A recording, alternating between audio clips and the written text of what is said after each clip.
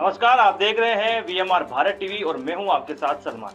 तो चलिए रुक करते हैं इस वक्त की बड़ी खबर की ओर। एम फोर इंस्टीट्यूट के द्वारा बुधवार को दसवीं के विद्यार्थियों के लिए करियर काउंसलिंग का आयोजन किया गया।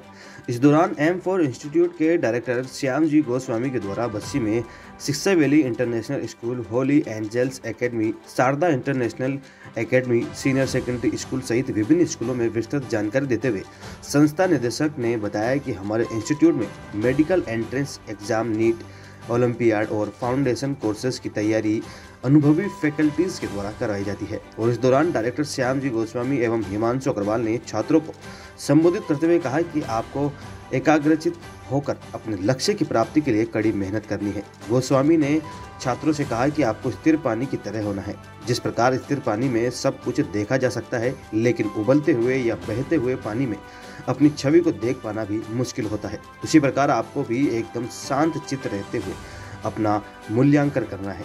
जो भी कमियाँ आपको नज़र आ रही है, उनको समय रहते बोर्ड परीक्षाओं से पहले दूर करना है।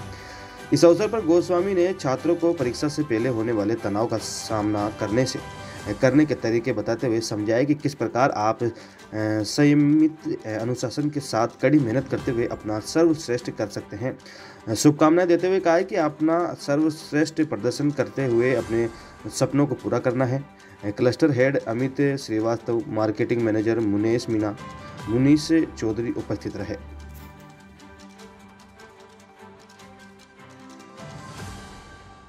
फ़िलहाल इस खबर में सिर्फ़ इतना ही, देश और दुनिया की तमाम बड़ी खबरों से अपडेट रहने के लिए देखते रहिए वीएमआर भारत टीवी और मुझे दीजिए इजाज़त। नमस्कार।